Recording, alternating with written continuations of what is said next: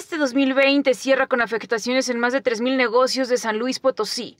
En algunos se bajó la cortina, en otros se aguantó pese a la operación intermitente y pérdida de empleos. El presidente de la Cámara Nacional de Comercio, Juan Servando Branca Gutiérrez, señaló que las características del año fueron los retos. Definitivamente fuerte, eh, disminuyendo el ritmo de trabajo, algunos abriendo determinados días, eh, otros cerrando por temporadas y volviendo a aperturar.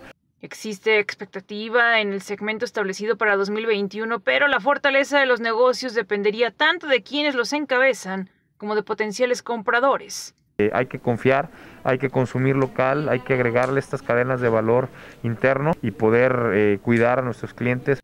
Puntualizó que la reactivación será clave para que los puestos de trabajo se sostengan.